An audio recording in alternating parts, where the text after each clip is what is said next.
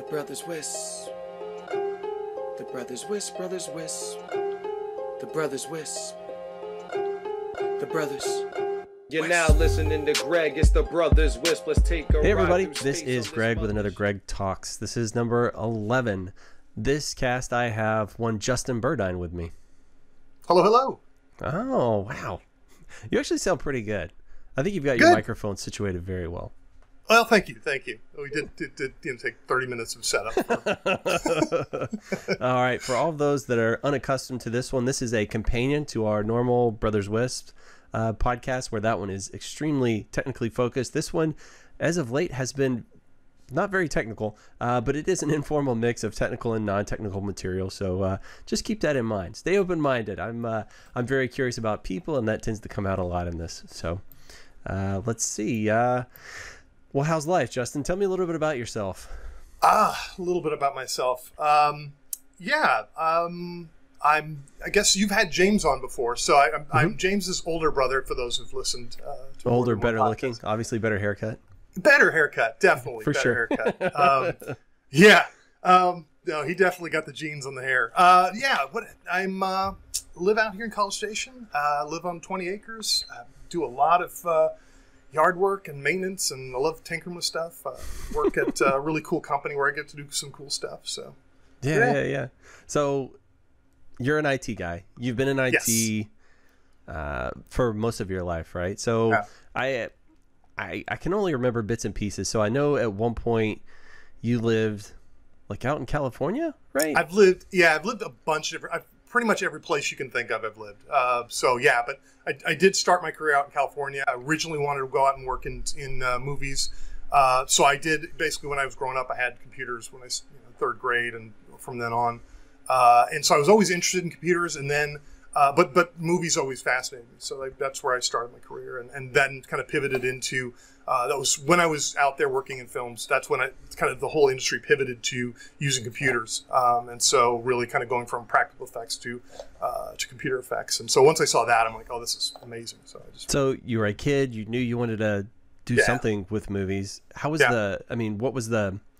Was a natural progression for you? So it's like, hey, I want to do something in movies. Was there a specific thing you wanted to do in movies, or? Oh yeah, I mean, I, I knew I wanted to do visual effects from very early on. I think I started thinking, oh, I want to be an actor, just because uh, my grandfather was, was an actor, um, and that was kind of enamored uh, me. But um, then once I realized, uh, my friends and I would, would sit every weekend. We'd sit and record um, videos, just do really weird stuff, dumb stuff, and we weren't very good at storytelling. So we were, but we were really good at like, hey, remember that thing when this thing happened? And we, we would kind of dissect how things were done in movies, and that you just kind of that deconstruction and then reconstruction and just problem solving really lended itself, or really kind of sparked in my head. And so I knew pretty early on. I mean, I, I, every book that was out there, all the behind the scenes on how movies work, uh, all of those um, I just devoured as a kid, and so that's it. It progressed pretty quickly. By about seventh grade, I knew exactly what I wanted to do. So, kind of zeroed in and, and fired off at that. That's awesome. So seventh grade, I um, was I? I think I was like a freshman, and I knew I wanted to do stuff with computers, and I kind of it kind of gave me a trajectory to, to move towards.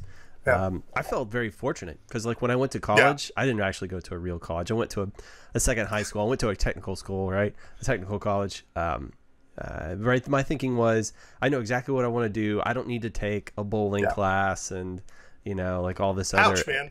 And you hit the nail on the head for me. I took the bowling class, and, and I, honestly, looking back, I, I did not need the four years. I, I, in fact, I think it was probably ten years into my career before anybody even asked me about about high school or uh, college transcripts. So, I, you know, I do. I think. I think learning is always a good thing. I think Oh, yeah, people sure. learn differently.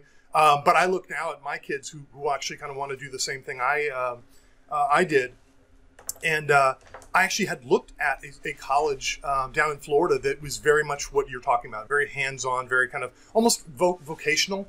Um, and uh, you know, back in the day when I was a kid, I remember that being kind of, oh, you know, you don't want to do that. And I'm thinking now, it's like, oh, that that's exactly what you need, quite frankly. Um, I think also it, it's always good to you know round yourself, you know, well, make yourself well-rounded. And I think that's the idea behind a liberal arts college. But um, I'll, I'll be honest. I think you know, for me, I I was very you know, if you look at my grades, it was like everything I wanted to do, straight A's. Everything else, uh, and my bowling class got an A in that too. But, Well, But yeah, yeah. it's and it's not to, and that was that was just my brain at the time, right? It's like I I I just want to get in and get out and do you know the exact thing that I wanted to do, and so Yeah. uh, I guess I, I got in there and, and got out. And sometimes I look back and wonder, did I really um, did I miss out on the college experience? Right, because Hmm. it was it was very different for me. But then I came to the realization that I was such a, a shut in uh, and so socially awkward that had I been at a college, it would have basically been the exact same experience for me. I would have just stayed in my tiny little bubble as much as possible and right, and right, just gotcha. existed. So I don't, I don't think the college experience was something that I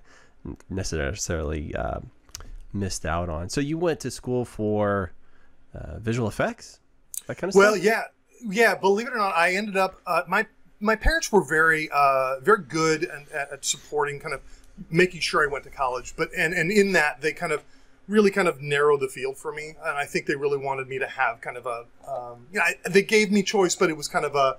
Uh, you need to go down this track. So I ended up going to a. Um, a Christian liberal arts college in the middle of nowhere. Uh, so if anybody's been to, you know, knows about Taylor University, uh, it's in the middle of a cornfield in Indiana. It's a good school. It's really cool. Um, uh, it's I certainly think it's uh, it's it was good at the time for me because they were uh, really focused on. They had a really good communication school, good television and film school. Uh, more television at the time, uh, but it's really grown up to be a lot more. Uh, but we were kind of the first class that really kind of went through there that had this kind of really cool experience. So um, I, I, I love it. I, I wouldn't probably you know send my kids there these days, but um, you know it is what it is. Well, I guess those kind of programs were still in their infancy, right? So Yeah. Yeah, the, very the, much so. the people that were teaching those classes, did they actually have like industry experience, like they had been out there doing? Yeah, it, it's or- funny you should say that. Yeah, the guy. I mean, uh, quite frankly, the one of the big factors that got me in there was you know they had their own TV station, um, and the guy who was leading it had been uh, a guy who uh, a guy named Barry Pavisi, uh, great guy who worked in ABC, uh, up literally in, in uh, All My Children, and was a, a technical director for you know uh, the oh now I'm gonna biff it uh, whatever the ABC you know not news show was back in the day, um, but had been doing that for you know 15 some odd years. Um, so great experience. You know, he, he was one of those guys who was very hands on. So he kind of took my myself and my roommate under his wing, and we just you know basically flourished. So it was a really cool, amazing experience, quite frankly. That's cool. So I, I've noticed that like some people that go to like a real, uh, a real college. I'm gonna do that in quotes, do it air quotes. uh, people that go to a real college, there's um, kind of like um, a network set up for them. You know, like here at A and M, I call it the good old boy network, where it actually just having that class ring or or whatever the counterpart is at, at other colleges um, actually opens a lot of doors, right? And so it, Yeah. you can um, you can get a lot of introductions to that way. Is that something that kind of I'm just curious. It's like so okay, I've gone to college, I've done this thing. How do I actually make it to Hollywood and, and start working on Yeah. stuff? It's like how do you how, do you- how do you bridge that gap? well, quite frankly, I was I was lucky in a couple things. Um, a, I was very driven, so I knew just from literally devouring all of that information about uh, what was out there. The internet was just kind of picking in, picking up. So uh, this was like 92, 93.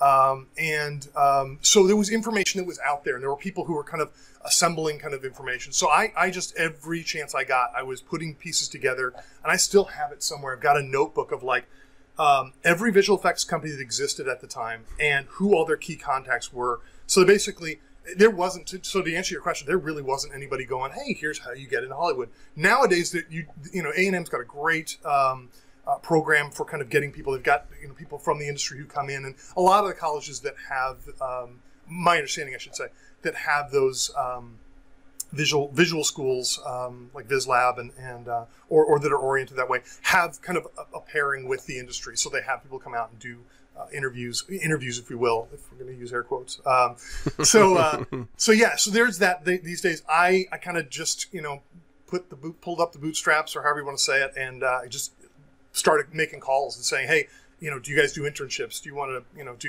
you know, what, what are the opportunities? Um, and I was lucky because I had family out on the West Coast, so I could make that jump. Um, I look now where I don't have family out there, and I've got a, a um, you know, uh, some kids who want to be in that industry. It's now, now I'm kind of like, well, shoot, how do I make this happen? Because it was, it was a fairly easy thing for me to go out and stay with my, uh, my grandmother and, and kind of get my, kind of establish a base without all that risk. Um, and so, uh, anyway, so that's what I was able to do back in the day, uh, and I was very fortunate. Um, I had a great uh, mentor that I happened to find at uh, during my internship, and I, I swear by it. I, you know, quite frankly, I, I think if you can do an internship, if you're trying to get in Hollywood, I think if you do an internship and just you know do the work, uh, it's amazing. How, you know the people who kind of really admire the, uh, somebody who can just keep their head down and do work. Um, you know, because again, you're doing it for free, uh, but you know you don't complain. You just whatever they're asking you to do, just sit and appreciate. uh, You know what the, the moment that you're in and, the opportunity you have. Because people, you know, that's how I got my first job was literally making those impressions on people. And I, I could go into it, but I did a lot of different different types of jobs, and um, thankless jobs where you know you're just doing the stuff. And then, sure enough, I went back to school for one more semester, and um, within a, the first month there, I got uh, I got a call and say, "Hey, you know, as soon as you're done, we're ready to have you." That's awesome. So That's yeah, awesome. That was good stuff. So, what was your?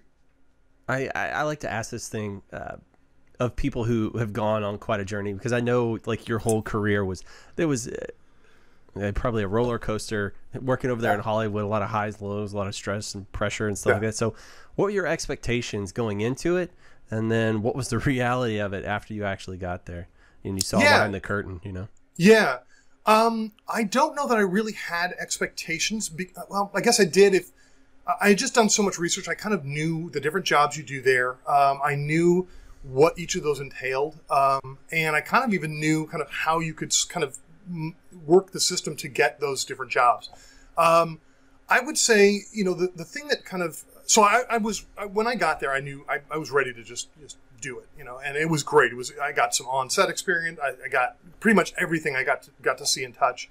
Um, I think the thing that I wasn't ready for, which had really nothing to do with the actual job, it was just more of being out and going from the freedom of being, you know, a high schooler and then in college, where you kind of just come and go and you got classes, but you've got this very free world.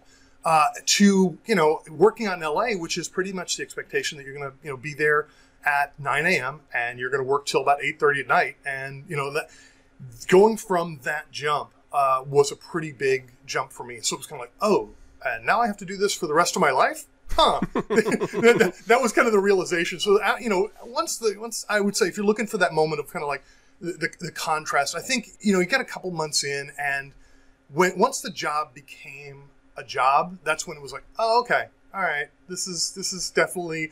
Uh, they're definitely gonna have to keep giving me a paycheck to show up. I'm not doing this pro bono. So, so, it, but I would still say it was probably some of the most fun years because it was, it really were was uh, uh, just everything was brand new. You know, new job, new world, uh, new experiences. So, uh, and it was it was a culmination of you know everything I wanted to do uh, when I was growing up. So, That's cool. Well, you got out Yeah. there, you you got the job, you started doing some stuff. How long were you actually kind of in the industry? I guess.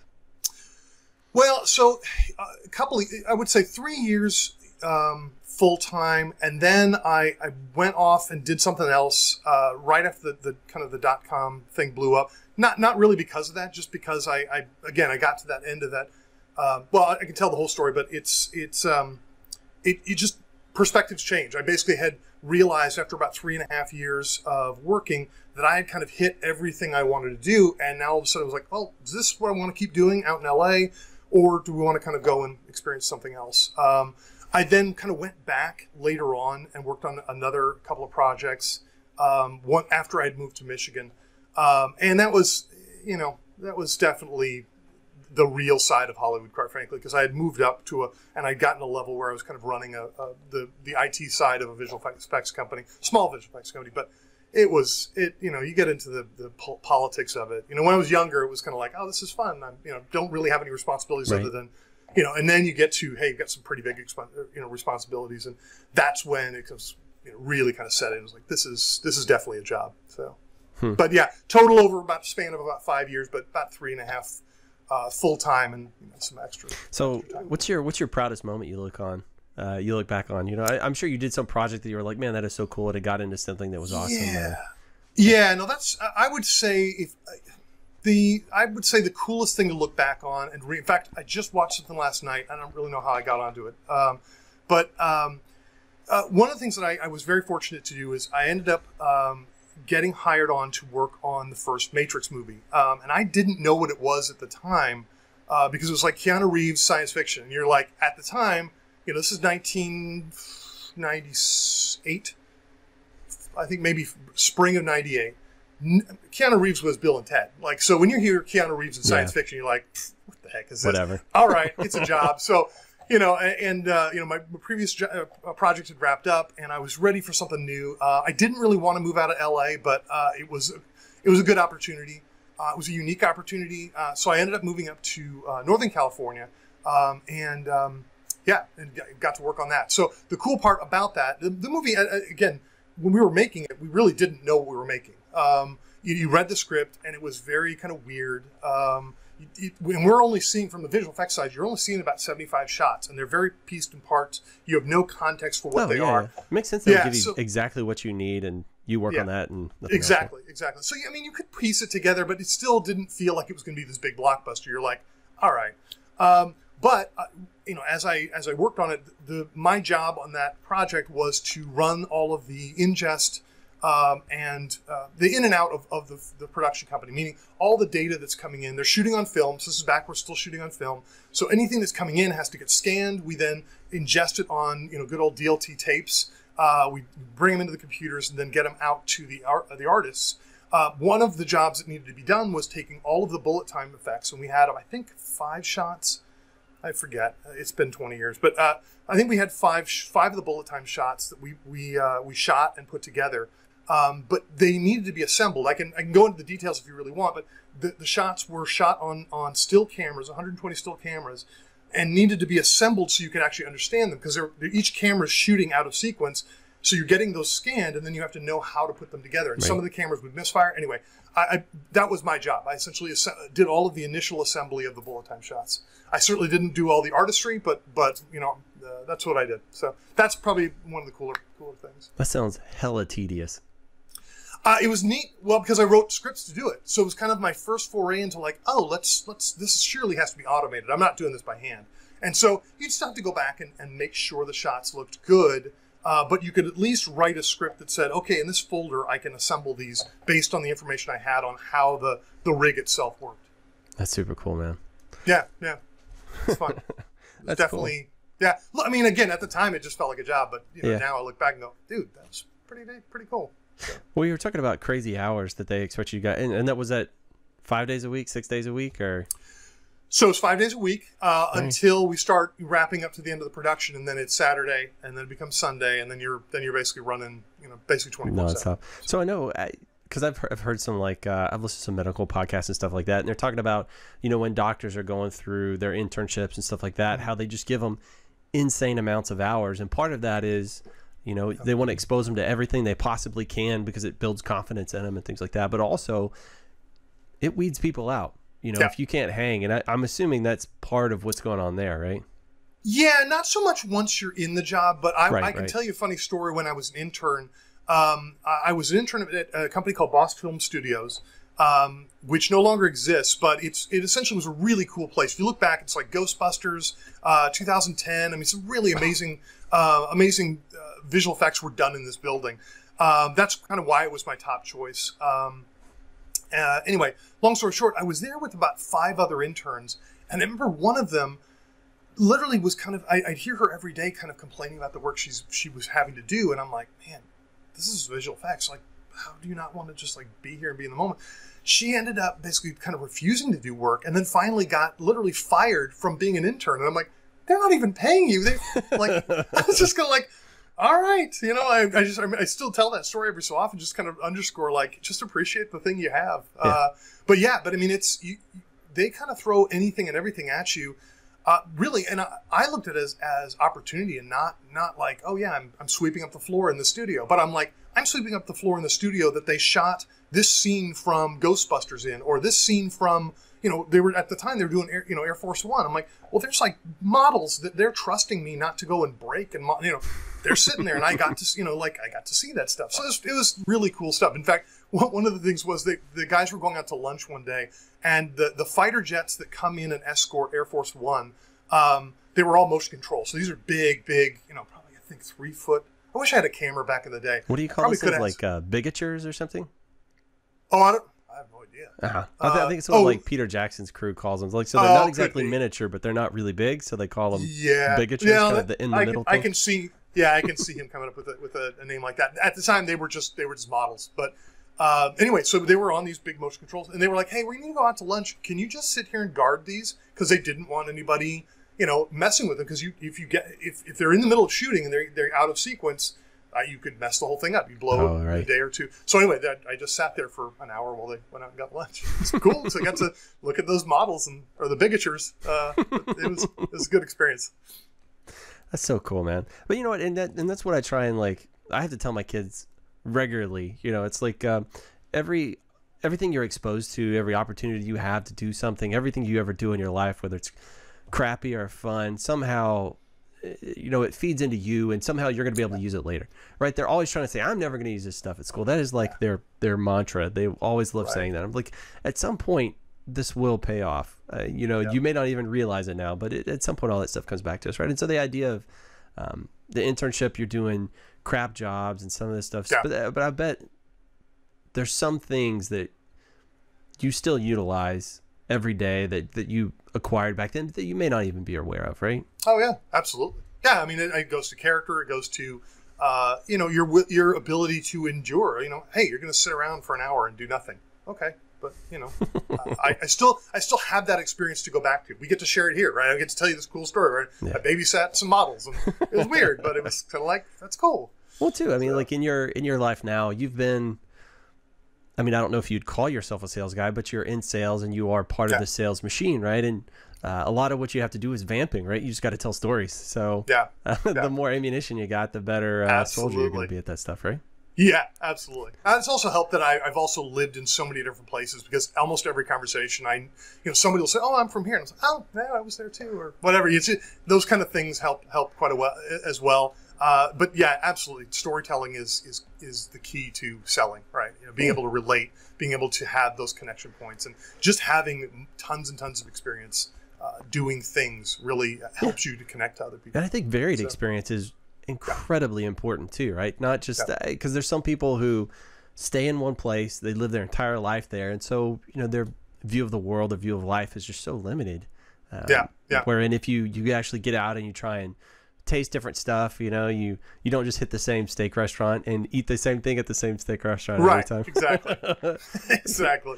gotta gotta get outside that comfort zone a little bit every now and then. Right, right. And something I always say is if you're comfortable, you're not growing, right? So you've Oh, got to be absolutely. some amount of discomfort, and uh, Yeah. I've been trying to make myself as uncomfortable here in the, the last stages of my life uh, as I circle the drain uh, before I go down. Uh, try, trying to get as You're still a young guy, Greg. You're not going. You're, you're not. You're not going down that quick. uh, that remains to be seen. We'll see.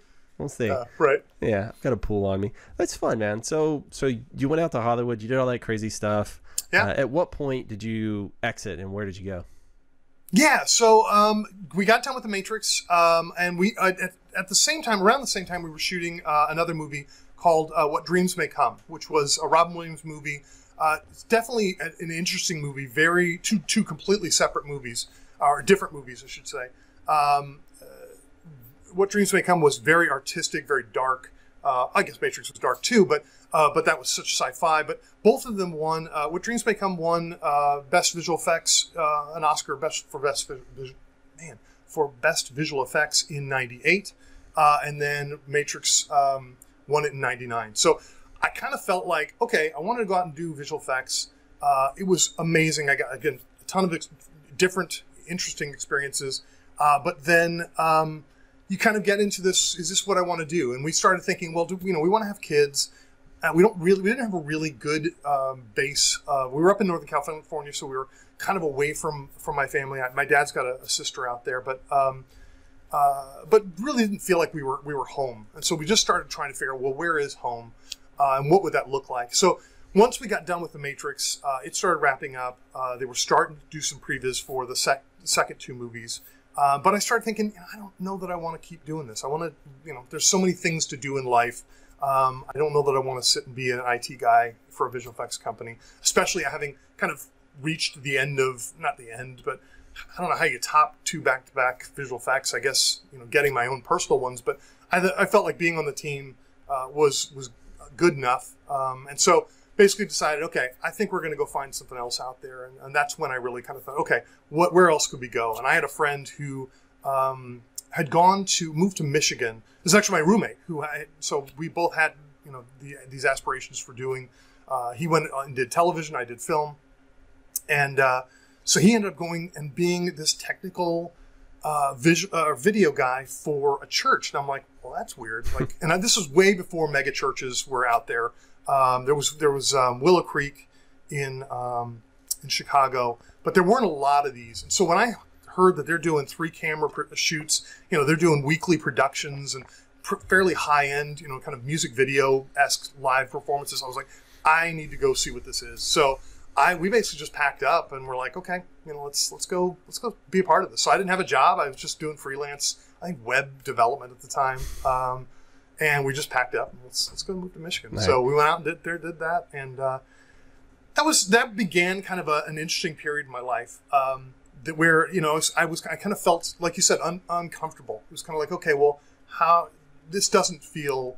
I didn't really have uh, know what I wanted to do, Yeah. um, and so. Uh, we did that. It was great. But about a year into that, um, that's when I was like, uh, I got the call basically that they were going to do a sequel to one of the movies I worked on. And I was like, I'm going to go see if they need help. And so I, that's when I went and did my, my boomerang back to Hollywood. Uh, did that for about a year.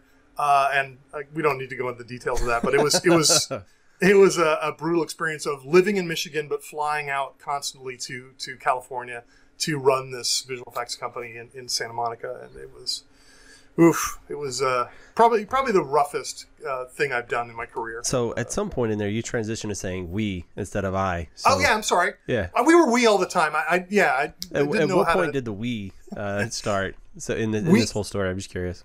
Yeah, no, that's a good question. And I, I, uh, we started actually bef- uh, six months after I moved out to um, Los Angeles. I moved out there in, in the January of '97, um, and then I, in college, I'd met my uh, fiance, my wife, Krista, um, and we met um, at college, my our last year, um, and so I, I went off to do the Hollywood thing, and you know, we, I, right before I left, we got engaged. Um, up in New York City, and uh, and so we were kind of we, we were a we the entire time, uh, but we actually officially got married once uh, about six months after being out. in- All right, so you were out there for six months. Then did she actually come with you at that point, or did she? No, like she, when did she actually no, no, make it out to L.A.? Uh, I'm thinking she visited several times, uh, and then in August we got married. So uh, so about eight months after being out in Hollywood, she then came out and moved out. What was the transition like uh, for Krista heading out there? Oh, that's that's probably her story to tell. But it was it was interesting. You know, she grew up in in Ohio, uh, in this tiny town of Ohio. Um, very, I, I she I think she would say fairly sheltered. Uh, and you know, I, I had I grew up with family out in Los Angeles. We went out there probably every summer, uh, almost every summer. So I knew kind of what it was like. It felt like home to me. I even you know we were staying with my grandmother at the time. So you know, I, this was my experience of California.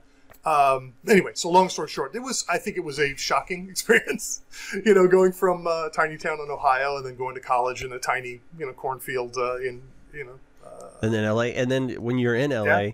she gets there, and you guys are married, and you're working, you know, Yeah. eleven hour days. yeah, So- yeah. yeah. So, yeah, it was definitely an experience. She got to, you know, kind of un- figure out what, what California's like. She, you know, had some, I think she had, she had a cousin out there, uh, has a cousin out there. Um, and uh, so they kind of they kind of bonded, and that was kind of nice. But That's yeah, interesting. Definitely, yeah, we should, that's definitely a conversation for her because she could dive into the details of that. So one. you did VFX, Mega Church, VFX again for a hot minute, and then you're Yeah. like, yeah, I'm done with this. And then you yeah then i got yeah then i went back you know, yeah it basically uh, that was uh, it was so many hours and so much travel and we were just on the verge of cell phones so just connectivity i could do it now in a heartbeat right that's that's you know, easy peasy but back in the day it was you know like you're just nothing connected very well you know i think i had a note one of those nokia phones that were super popular that had like three lines of text on it um, you know that that's that's the the age of of, of uh, phone cell phone connectivity we were Right, in. right, right. Uh, anyway, so yeah, so basically got done with that, and we um, uh, I just started again looking for another job. I worked for an, an auto credit company for a bit, doing their IT stuff. Uh, ultimately, found a great gig at uh, a university, Oakland University, up in um, in Michigan, and so because we were still based out of Michigan at the time, and did that. And it was great. Loved loved that gig. Uh, but eventually, we the somebody in our church, one of the pastors that we were really close to, uh, kind of felt called. He's going to start up a church in Utah, and so it was kind of like, oh, okay, that's interesting. And we just kept thinking about it, and for some reason, it was like, "Ah, you know what, we could do this. You, You know, and it- change your pace. I don't know. I mean, I certainly knew. I certainly we were still in that whole f- feeling of, um, hey, we got to find what what does home really feel like. Um, and th- we this was definitely like, okay, Michigan is definitely not home. I love the people there, but man, the you know living in a frozen tundra, you know, for about seven or eight months a year is not my cup of tea. Yeah, me neither. Um, so uh, in Utah, I mean, we went from I think I remember this this quote, uh, this this fact that it was like Michigan is 180 days of gray, and if you look at it, the statistics in the almanac, Utah's 180 days of, of sun. So I was like, yeah, I'll take that trade. I'll take that trade in a heartbeat. So uh, anyway, so yeah, we, we ended up moving out to Utah with about 30 other people.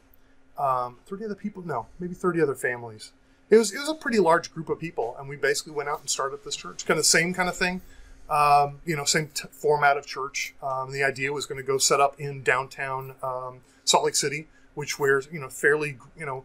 Uh, obviously, Utah is known for being Mormon, Mormon, but yeah. down downtown in Salt Lake City is actually pretty uh, not Mormon intentionally, um, and so uh, we just found it really, you know, that people really connected there. So That's interesting. yeah, So were you doing IT for the church, or you just like I was find you a job when you got there? Uh, so yeah, I wasn't paid by the church. Um, I ended up getting a job at a software company that did um, uh, voice recognition. So that was pretty cool. Um, although it, it wasn't very cool that they weren't making payroll, and I found that out like three weeks into moving it, moving out there. But it was like, all right, we'll take this. Um, you know, it was it was a great experience in that you know when they're not paying you regularly, um, that's not good. But it also provides opportunity where yeah, I've got a place that will pay me, and but they're fairly loose on when I can come and go, and so uh, because you know what are they going to say? Um, so uh, that was a cool experience. It was uh, it was probably another really tough experience in that I was working probably eighty hours a week Jeez. between the day job and doing church, where I was doing installing phone systems, doing IT, uh, uh, sh- directing the live services um, on, on the weekends. I was working in the production. I was shooting videos. I was doing literally everything, uh, and that was great. But I burned out pretty within about a year. I was I was toast. Uh, I think we are out there three years total, but um, yeah, it was maybe so. Maybe I have about two two good years in there, and we did some amazing stuff. I'm really proud of that that that work as well uh, because they kind of gave us a budget and they gave us kind of you know hands off with whatever we wanted to do. So I ended up working with some incredibly talented people out there um, that knew how to do both music uh, and video and write story, and it was just it was it was a neat kind of. Uh, Almost like a skunk works of, of how do you do church production, you know, because we could just do anything we wanted to and come up with. Uh, That's cool. Yeah, yeah, it's good stuff. So something I hear you say, and I'm just wondering, is this is this part of your personality or just a situation you found yourself in? But it sounds like uh, workaholic would describe a lot of your early life. Is that Yeah, is that kind of how your brain's wired, or you just found yourself in those positions? No, I like doing. I like. I like. I'm, I'm a people pleaser. I think uh, first and foremost, I love making. I like. I like making people happy, Hmm. and I can do that. And when I have skills that I can offer up and give to people, and like I, that betters their life, I love that. You know, I mean, if I could, if I could just do that and not have to worry about a paycheck, I would just be doing that. Uh, but you know, uh, the paycheck does uh, unfortunately um, you know, come into play. So yeah, I, I think I naturally like to keep myself busy. Um, Gotcha. I think it's it's How do you important. how do you moderate that? Like, how do you how can you Oof. tell when you're doing too much of that, or It's well, yeah. I don't know in. that that's a. Uh, I mean, so I would say that's been a thing I've learned over the last twenty five years of working. Right. I mean, it's is is realizing, hey, I need to find a good work life balance, and, and I know I know Krista's. She's an amazing wife because she's put up with me working eighty hours a week. She's put up with me, you know, just freaking out, you know, about trying to deliver things that I, you know, were on an impossible, you know, schedule or whatever. But, um, but yeah, I mean, it's just something I've had to learn for myself, and I don't even know that I can. I even have words of wisdom for any one person because it's so it's so unique to who you you to who you are. Because there are people who can. I mean, in my 30s, I could easily do an 80 hour week for months on end. Now, oof, I'm, I'm lucky if I can do 40. so, so no, I mean, That's just why you go to sales, on- right? So that you Yeah, right, exactly, exactly. you don't have to nose to the. Sales somewhere. management, even better. Yeah. Well, you know what? I found uh, stuff like that for me. If I'm, I don't know. You know, I like to say that I'm I'm the person in the movie, so I can't see what's happening. Right? I don't have the script in front of me, but somebody else on the outside can look in and see it, and that's where Christy's always kind of stepped in for me because I, I think I share a lot of the same traits. As like if I if I can help people, I want to be of service to others. And I've let people take advantage of me plenty of times, way too many times. And Christy uh, recognizes that and protects me from those things. She's very, cool. She's very astute. I don't know. She's she's very perceptive when it comes to things like that. And so she she sees it. She asks me about it in kind of interesting ways. Um, you know, and uh, not necessarily warns me, but I can tell by her tone and her body language. She's like, you might watch out right here, uh, doing this thing or that thing. And uh, I'm assuming Krista's done some of that for you as well, right? Very much so. Yeah. Yeah. yeah, She's she's good like that. We've got after you know we've been married twenty two years. Um, you just you you know those codes. You know those those signals where you're like, okay, all right. She doesn't need to say it, but I I need to need to pack up here. Or I need to need to rethink what's going on. Do you feel like your relationship with Krista still kind of evolves a little bit over time? You guys, Oh, constantly. Yeah. Yeah, yeah, and in great ways too. I mean, thank God, because man, I was you know, I was not the easiest person uh, to get along with uh, early on in life, but uh, just being so dogmatic, so driven. Uh, but she, you know, a lot of that, sh- just life and and her wisdom has really uh, uh, helped kind of you know polish this big boulder of a person that I am to a yeah, no kidding, dude. You're Yeah. what people probably don't. I mean, you can obviously you can't tell if you're just listening or really just looking, but you are like six eight and like uh, yeah. Yeah, I, I- I wasn't really going for the actual looks, but Yeah, you know, yeah, I guess are- I am kind of a polished stone now. That quite literally a boulder. You are a huge chunk of a man. You are enormous. chunk of a man. Yeah, That's so it. it's uh, I recently got you to play pickleball a couple of times with me, and unfortunately, Yes. due to recent recent circumstances, we don't get to go out and play. But it is hilarious seeing you on the other side of the the net. It's uh, it's uh, definitely uh, an advantage for you being so goddamn big. Thanks. Oh love it. man! So I met you. I met you when you moved down to Texas. Um, I think you came down here to work for um, a company that does like some hosting and stuff like that. And uh, yeah. I think they really had very lofty expectations for your team and uh, very slim margins, slim deadlines. Uh, Yeah. But you know what they say: no constraints, no creativity. So you guys were some of the most creative folks Yeah. I've uh, I've seen. So uh, Yeah. Yeah, no. So that's actually where we went after uh, after Utah. We came down here. Uh, we finally were like, "Well, where's home?" And my parents had had settled. Uh, they'd moved from Pennsylvania down to here. My dad works for uh, Texas A and M. So yeah, I, I, I uh, the the company you, you mentioned uh, is is a great company. I love every one of those people. Um, it's it was a but it was it was definitely a lot of work. It was a lot of work, and a lot of you know a lot of the revenue of that company came from the work we were doing. Uh, and it's finally when it, was- it, it was a blessing and a curse, right? And the minute you go from being support IT to billable IT, the world changes, right? I mean, it's it's all of a sudden now, you know, you're you're actually a revenue generator instead of a you know a, preventing loss of revenue, uh, or or trying to make uh, you know the the company work more efficiently, therefore you know more money. Uh, and that is where is where I've been for the last twelve plus years is in that in that role in IT. So, any kids out there listening, getting into IT, uh, definitely start kind of picking up on where where where you can where you can make mo- make the company money because you become invaluable to them. Uh, you become uh, something that uh, you know you you can work with computers still, but it, it certainly uh, creates uh, a wave, a stickiness uh, for you. So Yeah. you probably figured that out as well. yeah, yeah. I uh, well, I mean, uh, when I first got out of college, we were working. I, we- I mean, so Jimmy and I actually ended up working at the same place. That's how our. It's a, it's a small world in certain ways, and others not so much. But uh, yeah, Jimmy and I ended up working together there at this place called UCS, and um, that was a very strange. I, I mean, it's it's not you know it's like bizarro world over there so it's hard to, to compare it to the real world because it was very different um, and while we were a technology company and that was the product we sold the programmers were treated like royalty right? Because they were actually creating the product i guess. And and all the rest of the infrastructure um, yeah like, like you said we were more a commodity. We were more humans with barcodes quite literally because our name badges Yeah. had barcodes. And they would track how long we went to the bathroom and how often we went to the cafeteria um, and our managers would get um, reprimanded if their people didn't eat enough in the cafeteria because they would have to subsidize that. So it was, just- it was a really strange place to work. Wow. But um, it was also they gave you a lot of liberty, so there was a lot of free time. Um, Hmm. And back then there weren't. It doesn't seem like there was as many distractions back then. There was no Netflix. There's no Hulu, right? Right. and there right. was, I guess, at some point YouTube came along, but um, I don't know. You could either build yourself or jack around, Yeah. Um, and so you could definitely see the two sides of different people um, that actually would take advantage of it. So I'd try to take advantage of it because I don't know. I, in work, I've always been a competitor.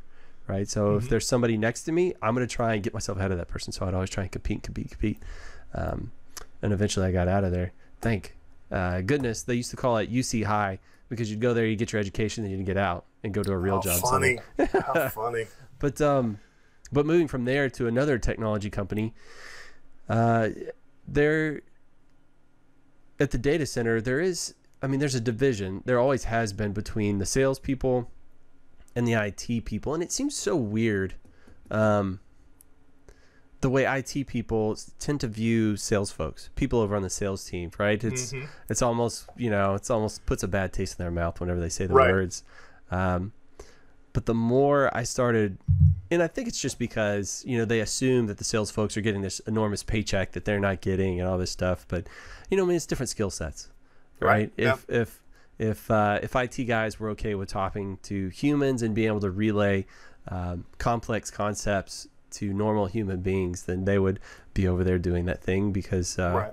you know they'd be good at it, and they're just not. And so um, it's just so funny to see how our perceptions of things change. And so now I love the idea of sales. I love the concept because it's another way to compete, right? Yeah. It's it's it's Yep. me uh, almost against myself. I have to figure out the right words because in front of anybody, the right words can come out of my mouth and I'll get the desired result. And can I figure out what those words need to be? And Right. I just love kind of the the challenge of it. Yeah. You know, what I mean, you're Yeah. you're turning the crank on the jack in the box, and you never know what's going to pop out. You know, it's just it's Yep. like I, I love the idea. Oh, it's it, I call it a high wire act. Yeah, because you just Yeah. have no idea. And I, I think it's even more fun when you're the. I mean, I, I could. I don't know that I could ever be a sales guy. Like if that where Oh. I'm I'm developing just just the relationship. like pure commission all that stuff. Yeah, Well, yeah, and I, I um, even more so just the, what you're talking about because I love technology so much that I, I don't know that I could ever walk away from being able to show because I, I when I go out and I sell or when I did. Um, uh, it's I'm I, I always looked at it like I'm I'm actually out there showing like a magic trick to somebody, uh, and then I get to show them how it works. Like, oh, look, look at this cool automation, and now let me show you how easy it is to do this. Because there's kind of that wonder of like, oh, cool, you just like launched 15 machines and you configured them, did all this stuff. Well, now I get to show you like unpack that and say that's like this, and it's like you know one, one or two playbooks. So that that kind of stuff is magical to me. If I Yeah. didn't have that to be able to talk about, I don't know that I could just do the pure hey let me let me let's build this friendship relationship that really is only based on you buying something from me Yeah. that to me I, i'm not i'm i'm a little too transparent to be able to do that so um that, is that a nice way of saying it but no, But, too, uh, too, it, yeah. I mean, it harkens back to what you said earlier: is that you truly like to be of service to people, and so do I. And this is the way where I can show you, hey, what's something, what's something in your life that's bothering you, and I can genuinely, every time I step in front of somebody, say, yeah this thing is awesome. It's going to help you, and I'm going to exactly show you. I'm going to show you precisely how it's going to help you. And I just, how could you not be excited to do that every day? Like that is this is one of my favorite parts of my job. And now all of a sudden you came to me and you said, "Hey, how about you do that every day?" It's like, how is that possible? Is that you know what I mean? It's just it's, it's incredible. I get so excited, and I haven't been like I was telling people, I haven't been excited to go to work in so long. I can't even remember what the feeling is. Sometimes the the word takes a second for it to pop back in my head because it's so unfamiliar at this point. But I am loving it. I'm super stoked. I can't wait. I don't know how I, I rat hole. I mean, just I, I came out of left field and, and turned it back around on me, which is not what this is about because I'm curious about you. So, but I No, it's great though. so you, I, you I went appreciate from the- you went from there and then you went to Verizon Business, right?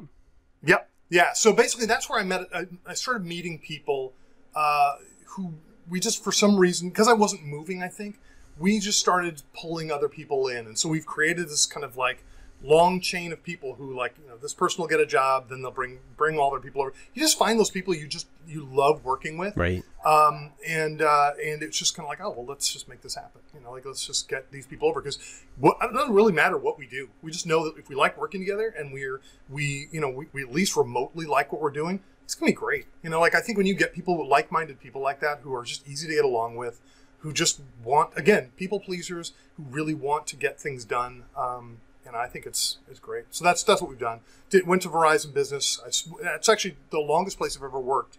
Um, I, I essentially went from uh, a, government hosting company to uh, doing essentially all of IT that I would normally do in a, in a single company. I'm now doing it for basically Fortune 50 companies. So I've worked with Lowe's, uh, I've worked with American Airlines, like all of their back end engines. I should say most of them, their back end engines I've I've touched at some point or another. Uh, so that that was an amazing resume generating um, a job because when you can say, "Hey, I built I built the search engines, uh, the Endeca search engines out at Lowe's.com." So if you've been to Lowe's.com, you've searched something like uh, probably they've replaced them by now, but uh, you know that seven years ago that was something I, I put in and, and installed. Um, that that kind of stuff is is pretty cool to be able to say. Um, and so that then helped me transition. After about seven years working from home, it was great, but um, kind of that train of people went on to the next job, which was uh, which was Red Hat. And I never thought I'd be working for Red Hat. In fact, I remember a story back when I was working visual effects, and I, I forget what it was. I was a FreeBSD guy at the time, and young and and know, dogmatic, and uh, for some reason I insisted we did something with FreeBSD, which caused a heck of a storm. But anyway, it's just funny that you know, 15 years later, you're now working for that company. You're like, man, I don't want to with Red Hat Linux. I was gonna say I think it's your fault that um, whenever I first started working at Fibertown, all the apartment complexes ran on FreeBSD servers. I think, Yes, that is probably my I'm pretty fault. sure that is your fault. because I think I injected. I, I remember helping helping James yeah, get something set up, and then they just they just kept using that. copy so, and paste. Yeah, and Yeah, then uh, it's like the one install of FreeBSD on this, you know, like in, in Texas or something. Because West Coast, it's all over the place. But uh, Yeah, I remember uh, trying to transition to that was it was uh, not exactly the easiest thing for me coming like from a Cisco background, transitioning into Yeah. FreeBSD, and then Yep. uh, trying to teach anybody else how to use it was nigh on impossible. And then uh, we stumbled on this thing MikroTik, and we started. You know, installing that over the top of the FreeBSD stuff, and then oh, Yep. oh my gosh, suddenly things got so much easier. Uh, so I, I, I still know some uh, some guys that are really into FreeBSD, like uh, this guy Tom Smith. He's quite the evangelist. He'll talk your ear Oh, yeah. off about it, but um, it's, so it's still alive and thriving and well. But it, Oh, you know, talking about how it's kind of a small world. You're saying that everybody kind of follows everybody. So everybody went to Verizon Business, and then after that, everybody Yeah. went to Red Hat. And I remember when you went there, I was like, oh, that's cool. Because like everybody in the world, had, you know, if you're in IT, you've heard of Red Hat. I like uh, my father-in-law doesn't know anything about IT, and he's like, "Oh yeah, Red Hat, I've heard of them. They were acquired by IBM." So you know, because he's into Yeah. stocks and all that stuff, right? So it's, I mean, it's amazing name recognition. So just to be able to say you worked there, I think is like super cool. But um, Jimmy worked with him, Yeah. 2003 to 2005, somewhere around there.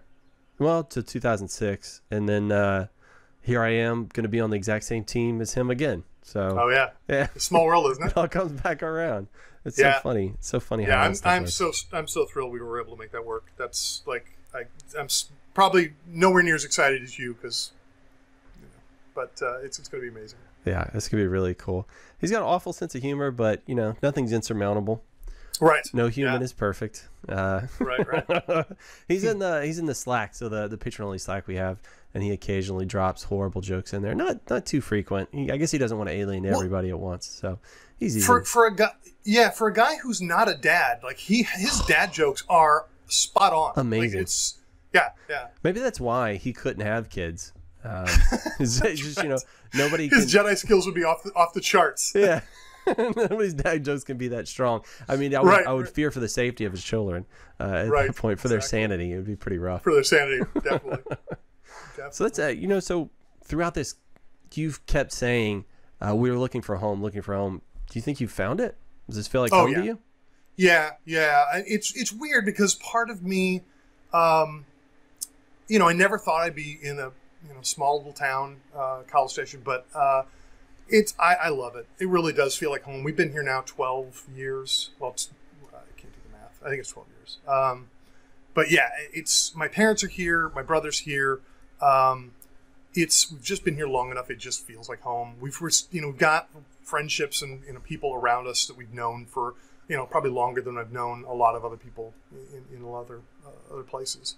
Um, so yeah, this this definitely does. So Yeah, I mean, your kids, like you said, you've been here twelve years. I mean, they've grown up here. this is what they know. Yeah, Yeah, so- absolutely. This is uh, this is most of what they know. So I think, I think once your kids are planted somewhere, that makes it feel a lot more like home, right? Yeah, without a doubt. Yeah. Well, that's cool, man. That's super cool. So, uh, I've, uh, you know, I mean, there's a lot going on in the world, uh, a lot of things, and I thought I would, you know, so I had, I'd brought up to you the other day that I'd been contemplating uh, post-COVID handshakes, right? You know, the idea of Yes. uh, when it's friendly, you do like a, you know, we're gonna start touching butts. That's what we're gonna do. So, you know, with your friends, it's one cheek formal, it's two cheeks, cheek to cheek together, and then you kind of uh, each uh, elevate at different different times. Yeah. Uh, but then I was thinking, you know, maybe um, let's look to the animal kingdom. So we could do kind of like the orangutan, where we just beat on our chests, or uh, Uh-huh. I don't know. What Yeah. are what are your thoughts? What what should the Well, uh, the next iteration be of a handshake? I don't know. I, I still think the idea of handshakes is such a foreign thing. It's so weird to me that like you know, it's like I need I need to connect with you, and I I don't know. I mean, I, I guess you know, humans have to have that contact, and I don't know where. I'd love to know where that actually originated from because it's just such a just some odd that you I need to touch this person. I think it really, it really. Did. I mean, they've done studies where, like, when you pet a dog, your blood pressure lowers, right? Just from Yeah. like touching them and stuff like that. And then Right. um, we used to do wedding photography, Christy and I, and so most of our business was actually generated at these bridal shows. And so we'd have like a, like a booth set up with all our pictures and stuff. And uh, when we first started doing it, you know, I would just, you know, again, I was still learning how to interact with other humans. Um, you know, kind of at a fundamental level back then. Uh, that that had a lot to do with changing my personality, doing the wedding photography stuff. A, a lot, a lot to do. Um, But uh, I, you know, I would be very timid, and I would just kind of stand there and I would wait quietly and patiently, and try and have a smile on my face. And you know, if somebody came up, I would try and engage. But you know what? I don't know where it came from, but I realized as soon as I saw somebody anywhere in my proximity, if I could take one step and get to them, I would stick my hand out and I would shake their hand and I was it's just I don't know it just forces you to engage with me and I would have a conversation. And that's how we got a lot of our you know it's what even increased it more uh, so th- that's how we ended up getting a lot of people engaged with us and then booked ultimately was was via forcing them to kind of come and interact. But if they had a guy with them which you know at these bridal shows it's mostly you know women their friends their mothers Right. their you know whatever it happens to be it's not usually the guy the groom that's going to be there. But if the groom was there, what I'd do is I would reach out, I would shake his hand, and then I would compliment him visually on something. I would say, "Man, you got some really nice hair," or "Man, that shirt looks great on you, bruh." You know, just something. Like I would Yeah. compliment them something, and uh, I would say um, seventy-five percent of those people, if they would smile, you know, uh, right after that, we would end up signing those guys. So there's, I don't know, there's something Wow. about making physical con. It's just, I don't know. I guess it's more intimate experience. Draws people in. Yeah, Yeah, yeah. no, absolutely. And there's that reciprocation. It's like as humans, Yeah. we reciprocate. So like if I tell you a personal story, there's this social understanding that you have to you have to reciprocate. You have to give me something Right. back. You know, Right, it's right. Uh, it's- I, I think I think there's something about our DNA where physically touching people like that. Although there's other cultures that don't do that, right? Like so, Yeah. So a lot of the Asian cultures just bow or things like that, and um, that works for them. But also, I don't know. Are are those Asian cultures? Are they? Um, I don't know. They're they're they're very different from us.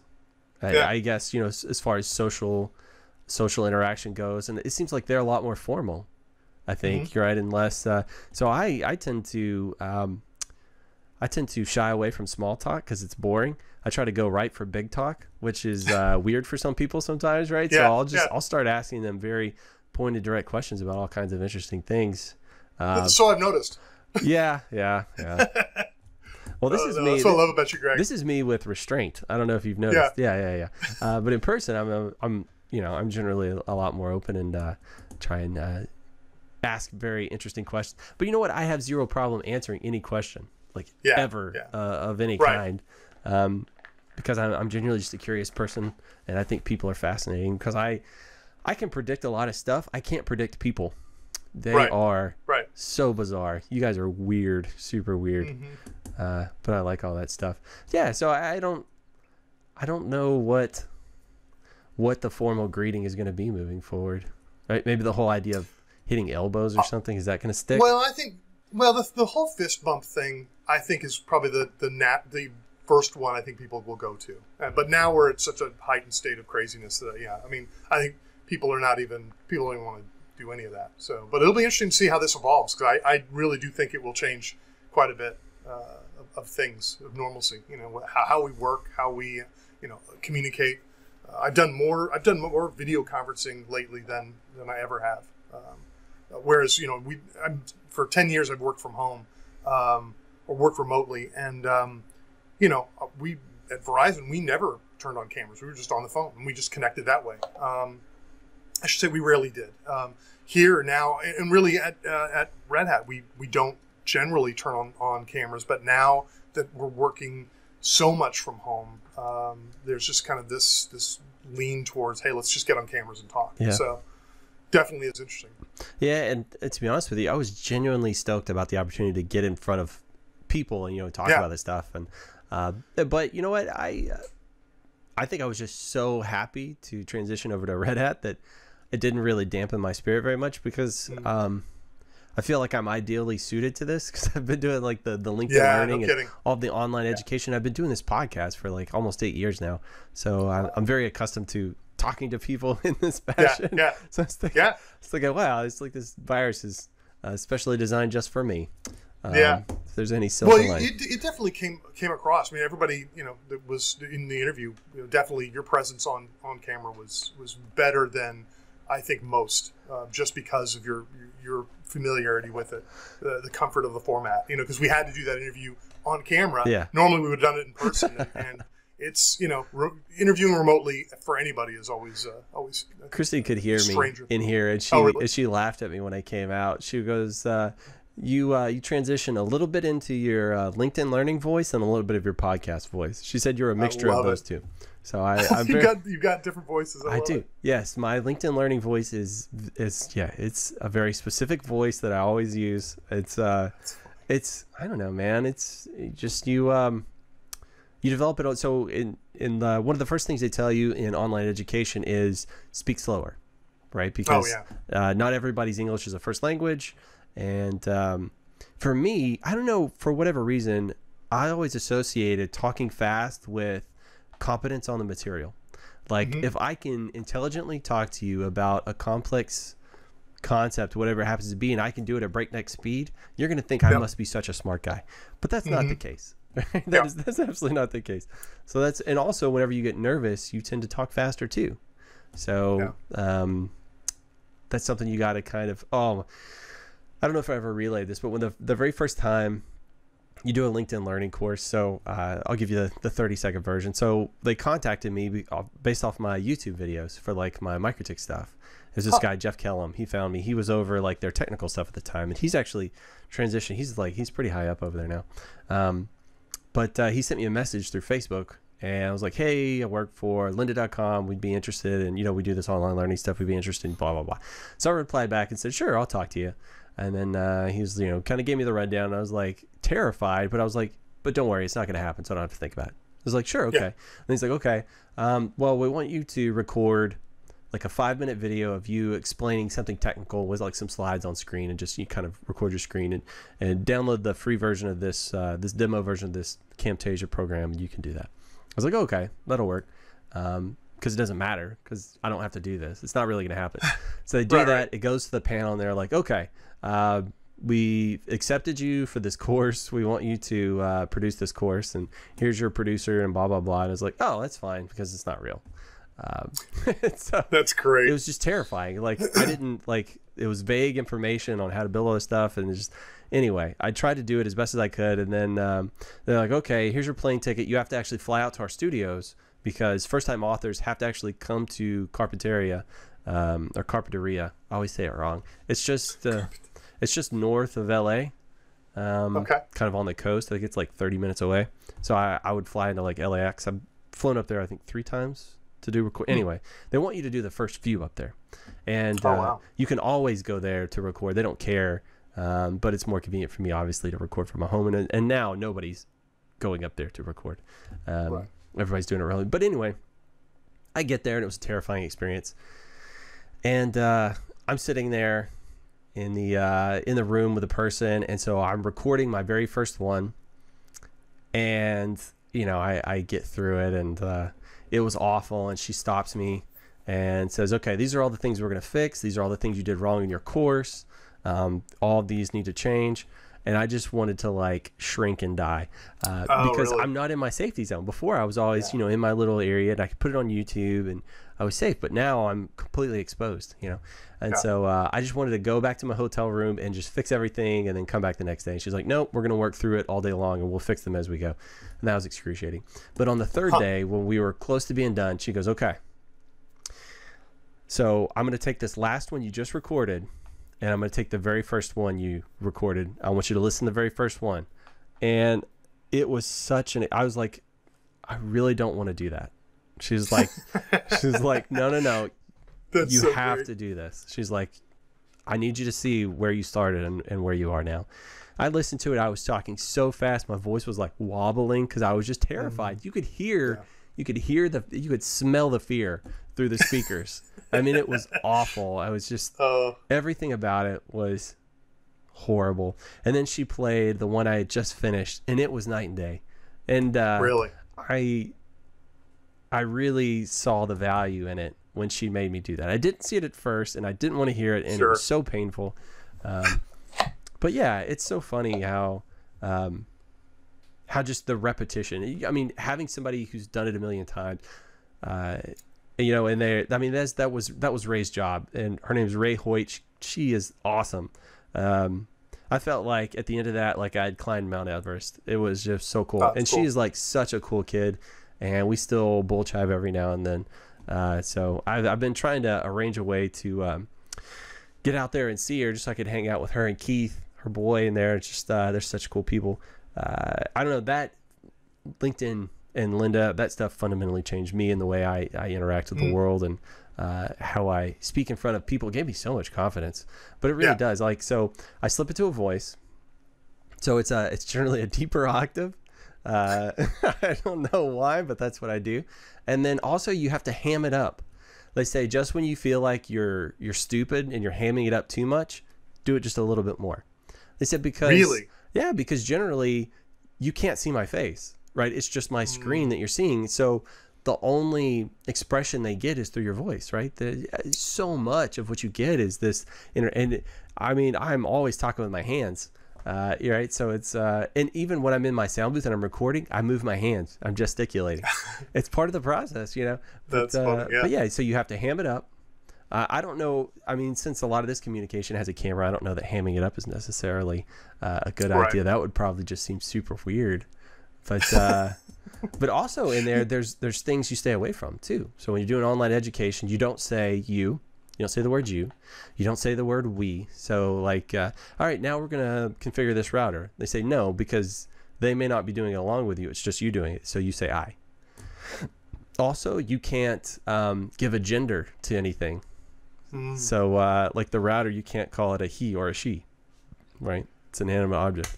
Uh, so there's just a lot of weird little quirks that are in there.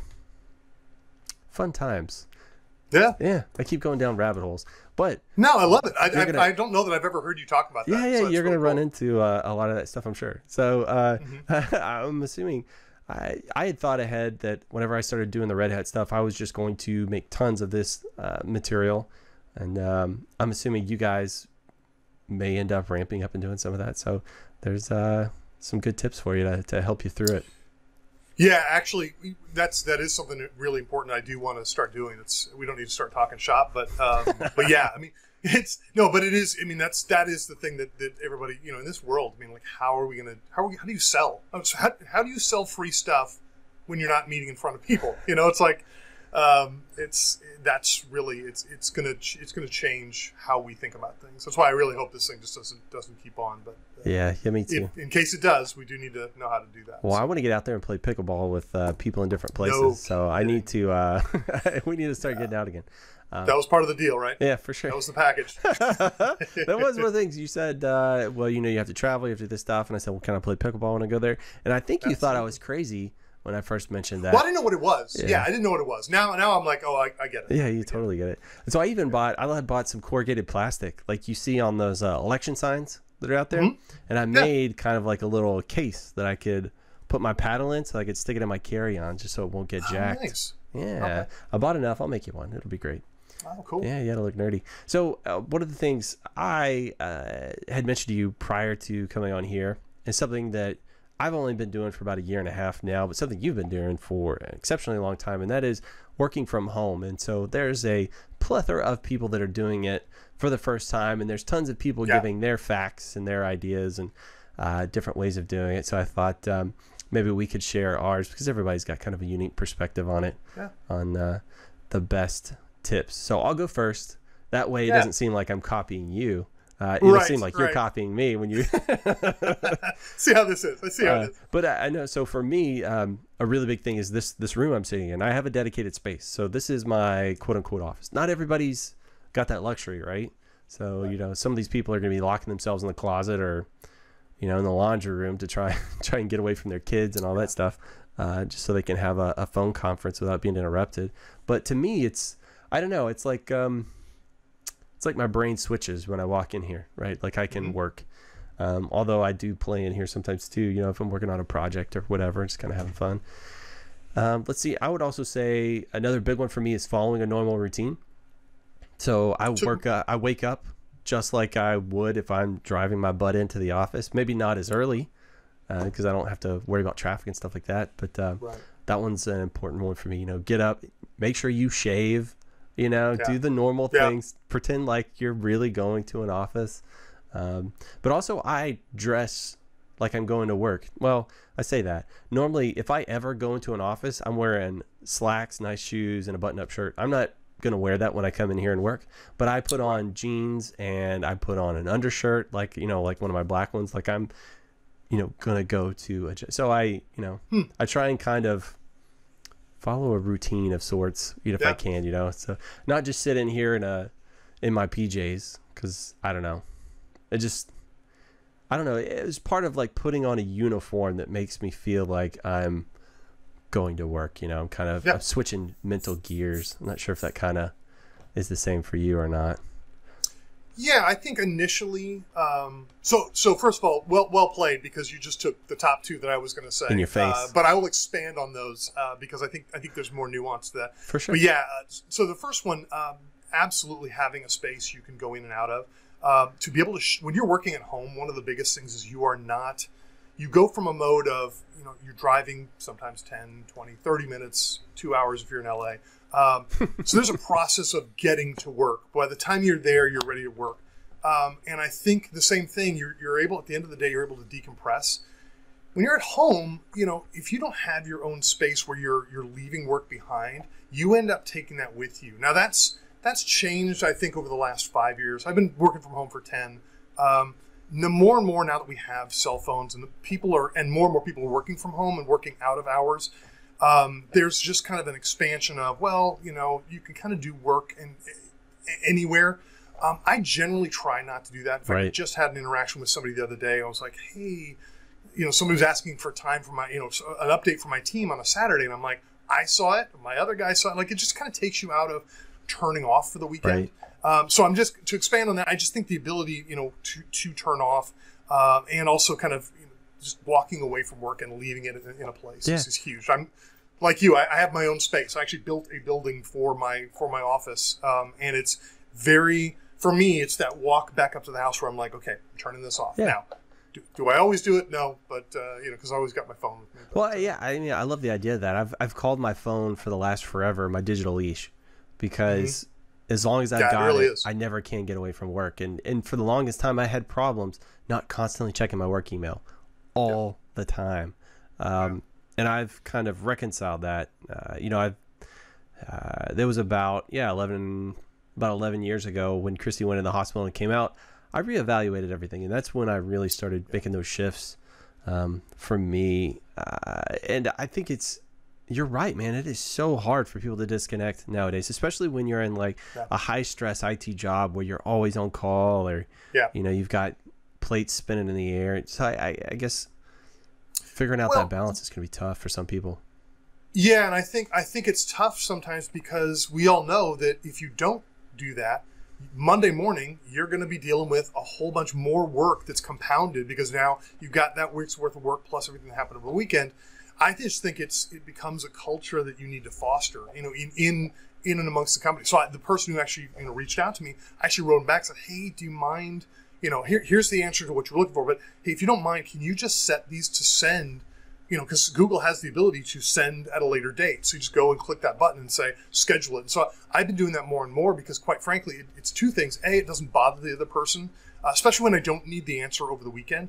But b, it's at the top of their email box because I set it for 8 a.m. on Monday morning, and like my emails, you know, basically I send out 10 emails on a Monday morning at 8 a.m. And so I'm getting immediately when I get to my desk, I'm getting answers that I wanted versus having to chase people down who may have missed it, you know, getting uh, buried by other email over the weekend. So You know, it- I don't know.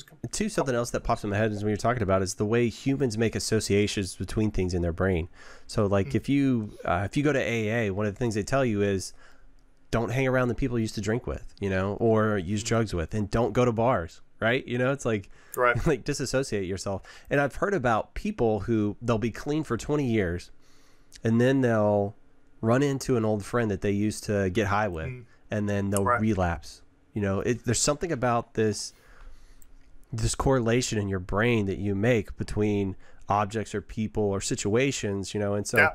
if you make your home like your living room part of your work, it's like it's probably going to be hard for your brain to kind of disassociate, decouple Mm-hmm. the two of those things, right? You really do need that separation where you can let off steam and and not feel like you're always working because man, that is gonna. I think in IT, that's one of the biggest killers is burnout. Um, Yep. That and um, difficult managers. Yeah. because No kid. most people don't tend to to leave a job they leave a manager right and uh, those people that do leave the job in IT a lot of times it's well I mean sometimes it's because there's a lot more money around the corner but a lot of times it's just because there's too much stress and they can't Yep. they can't get away from it it's just killing them Yeah. No, absolutely. man that's tough so another Yeah. tip I have is get a if you can and it's possible get a hard desktop VoIP phone I I don't know. There's something about I come to my office Hmm. and I sit down at my desk and I have a hard VoIP phone. I love talking on that compared to a cell phone. Cell phone, my signal is always spotty. Sometimes it's good, sometimes it's not, and I hate that inconsistency. Um, Hmm. And to me, it just it feels um, certainly annoying when you're trying to talk to somebody and they're they're going in and out. But also, if if my phone's doing that and you're on a cell phone, I mean that's a recipe for disaster. We're both gonna have a Yeah. bad time.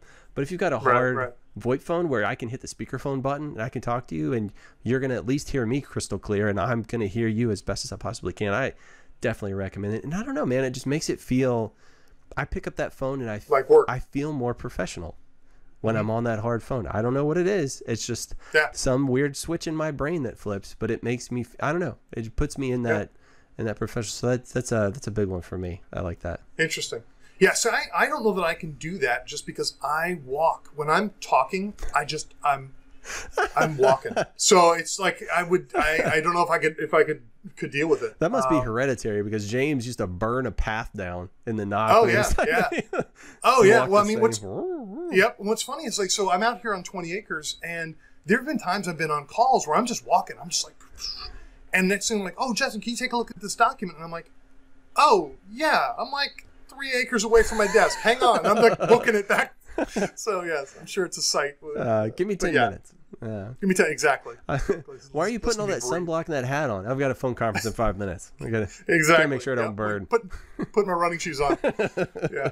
That's hilarious. Another one for me is there's a lot of people that are uh, required to go through VPNs, right, for one thing or another. I know a lot of people are saying, well, you know, everything's moving to online cloud based, and while while that's true, um, if you're uh, traditionally like a network engineer, like I have been for what feels like most of my life, um, Yeah. generally you can't go through the cloud to get to your network.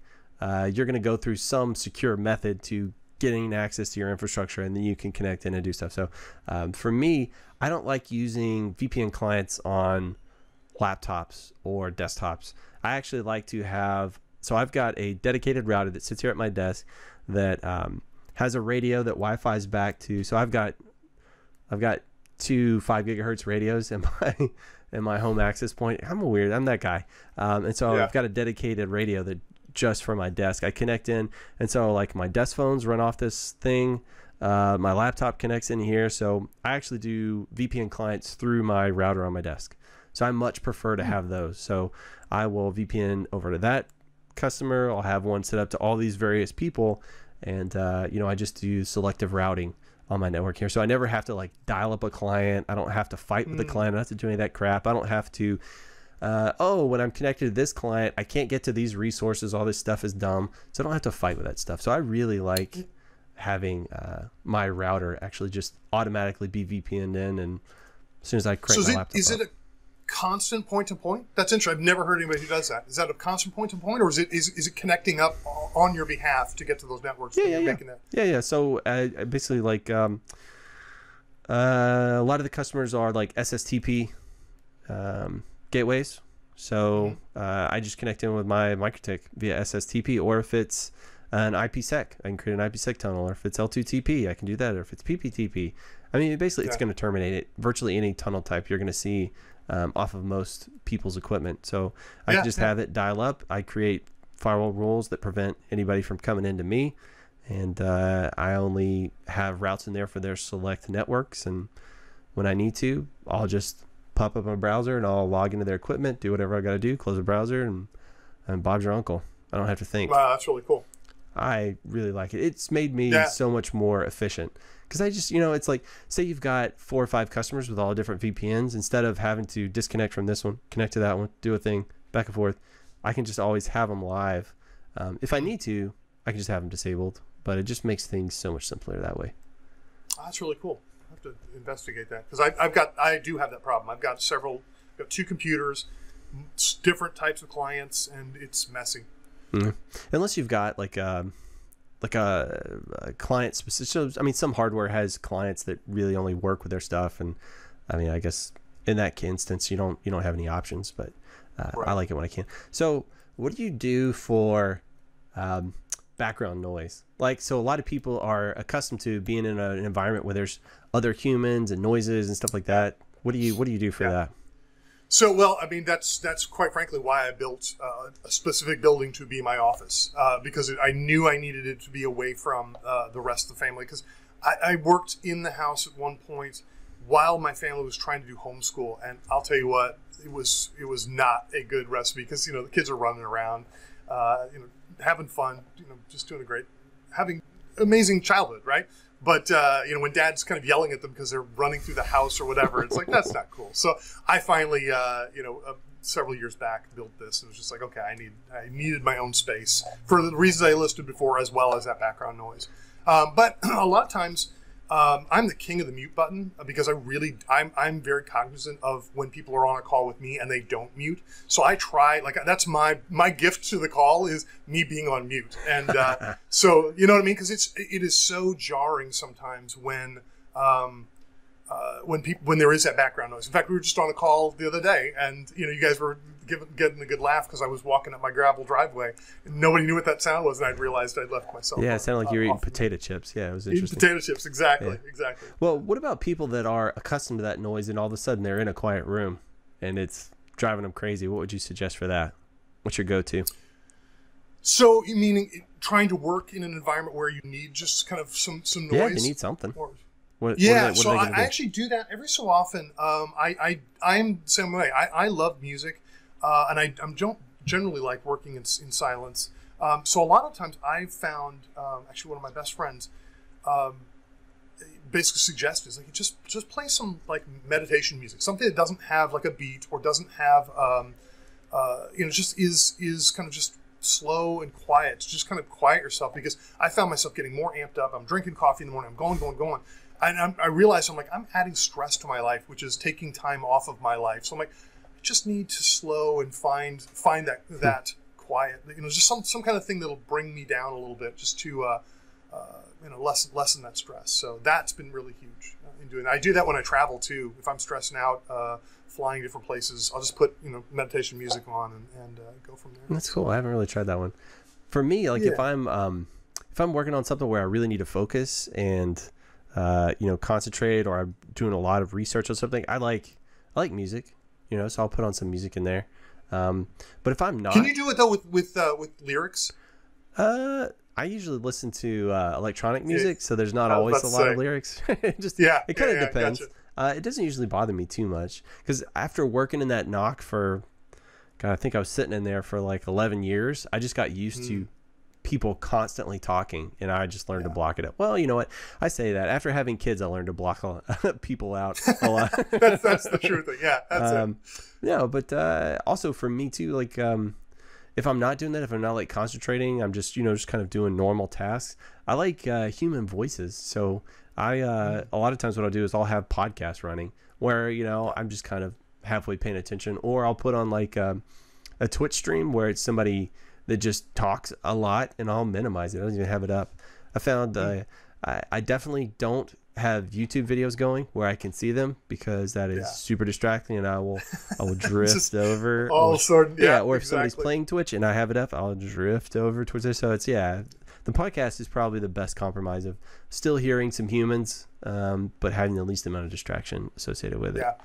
So Yeah, I, I found a good chunk of what I do as, as a manager now is is I'm I'm sending and processing emails, and I it's just gotten to the point where I, I can't have voices on because I'll start typing what they're saying because the voice in my head is you know not not as uh, strong I guess I don't know but it uh, so yeah I've, I've had that's why I've gone away from that. Uh, if I'm trying to back in the day when I was actually writing code, throw some EDM on and I could just be cranking all night. You know, just like just that could focus me.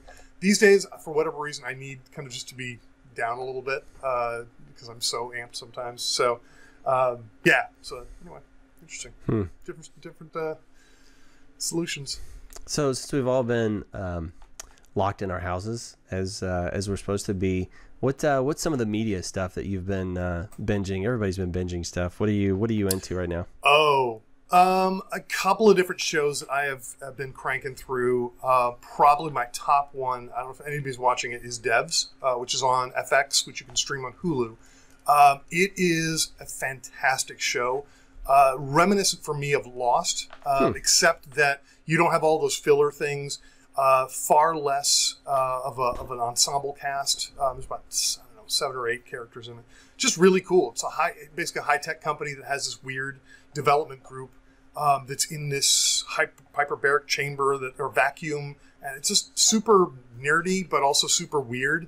Uh, great like ambiance music. Um, so the, they'll make these weird like it's I don't know. It's very, very interesting and moody and so definitely. But my top pick. If you've not, I- also can see it as being a show that you either love or you hate. Uh, so it's that I, I, I like the risk in that. Um, I think today there's so many shows out, so many movies definitely that are just like, let's paint with as broad of a brush as we possibly can. That just means like mediocre to everybody, Right. right? And so I kind of like when somebody's taking a risk and doing, you know, like I said, really weird music or weird sounds that are jarring to get you to kind of emote with what you're seeing. Uh, and that's definitely this show. So yeah, that one's that one's good. Another one's uh, Travelers, which is more uh, it's more kind of hokey time travel. Uh, it's a Canadian sci-fi, a la um, Stargate uh, or uh, SG One or um, what are the other shows that have come out of up there? Um, just kind of like science fiction that doesn't take itself too seriously. There's you know, so it's I mean, it's fun. It's a, it's a good show. What would you liken it to? Is it kind of like uh, like Quantum Leap sort of thing where you're zipping Uh, around? Not. Yeah, well, it's more. It's it's more that the the the um, the premise of Travelers is that these are people from the future going back, almost like Terminator, trying to fix the future. So they're coming back to people right before they're about to die, and they it, they take their body. The the the, the Sounds like reason Quantum Leap. being, yeah, kind of, uh, in that. Um, not as hokey. When I think of Quantum Leap, I'm kind of like, ah, okay, this is kind of, you know, Scott Bakula being silly and, and you know, oh, he came back as a woman. And, and in this case, some, sometimes it does happen, but then it, that's not like the main plot point.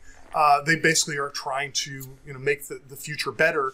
And what's running it, you you know, it is is this AI from the future that, that tells them how to uh, uh, what to do and what missions to go on. So it's it's pretty it's amazing in the beginning. It kind of gets formulaic as they as they go on, uh, but it's it's it's worth a watch. I mean, it's only th- three or four seasons. So Oh, that's cool. I might check it out. yeah, yeah. And I think Devs is only going to be eight eight episodes if I read it right. Um, and so that one that one to me is I, I kind of like that one because it's it's like okay cool. Here's this world, beginning, middle, end, and we're done. It's like like a long movie, um, and it's so they're not kind of wasting time with things in there. So yeah. That's cool. Well, let me tell you some of the stuff I've been uh, watching. Please. And uh, so there's a couple of UK guys that always give me hell when I talk about like the Great British Bake Off and how much I enjoy that stuff. Because I guess it's trash to them or whatever. But I don't care. So on the UK Channel 4 stuff, I've been watching. There's a show called Last Leg. They're on hiatus for a little bit right now, but it's kind of like um, a weekly news recap. And I just started watching it like three weeks ago. And unfortunately, I caught it right when Corona started. So that's all it's really been about is COVID, unfortunately. But it's uh, it's basically like three comedians, and then they have some guests on, and they're just cracking wise the whole time. And um, why did Christy relay it? She said if all news was like this, I would finally watch the news. So it's uh, it's a really comedic Yeah. way to to uh, enjoy the news again. It's got um, God, what's that kid's name? I can't remember. Anyway, it's pretty good. There's only like you know Oh. like thirty total British actors, uh, and they're in everything. And so a couple of these guys are you know in a lot of the different. Josh, that's the guy's name, Josh. Uh, so he's got a show called Josh. oh, Josh, Yeah. Josh, gotcha. Yeah, I can't remember. Well, he's got a show over there on. Uh, I think it's on the BBC, uh, like on the BBC iPlayer. That's called Josh, and there's several seasons. It's pretty enjoyable.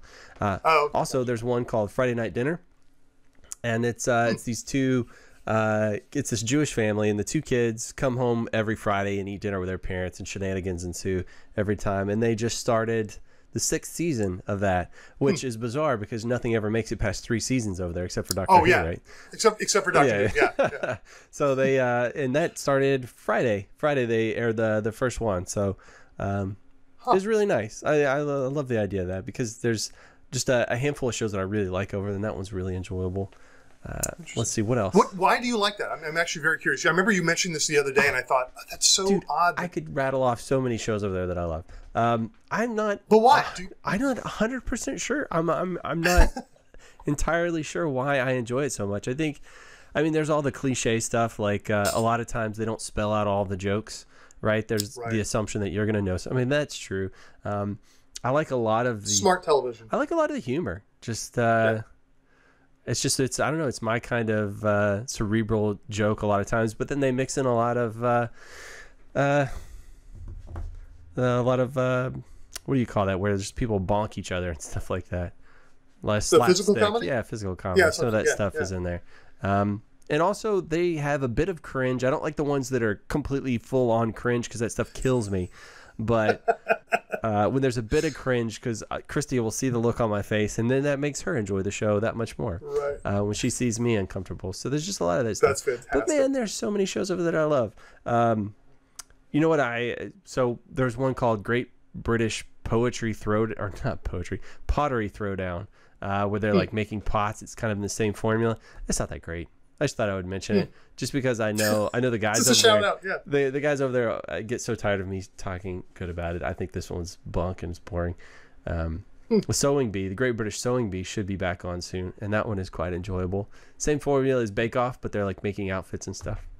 Uh, I learned what a dart was. I feel like I'm. I feel like I'm missing out. you are, dude. I feel like I just. There's so much, Yeah. about- but like comedically, like I was talking about, probably one of my favorite shows of all time is called Taskmaster over there, and uh, yeah, they just finished the ninth season not so long ago, and then there's Champion of Champions, but it is so enjoyable. You've really gotta pop in there. I would say I think Okay. season six is probably my favorite of all.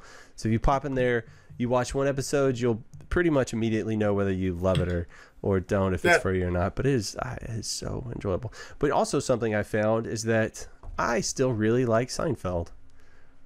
I, st- Oh, I still really love it. Like we've been uh Christy's been having it on for background noise, and so I'll pop in there and watch a couple. Of, we were watching a couple episodes before we recorded this thing. I just forgot how good that show is. You know, the interaction. Yeah. Like I don't know how they could have cast those characters any better. You Yeah, know, but no, absolutely. between George, Absolutely. Kramer, Elaine, just the chemistry between all of them and the characters and situations, it's so well done. Yeah, yeah, absolutely. Because there's a lot of stuff that just does not hold up. Yeah. Yeah. But uh, to me, that's one that, that certainly still does. Are you still Yeah. Are you still playing games anymore? You still do that?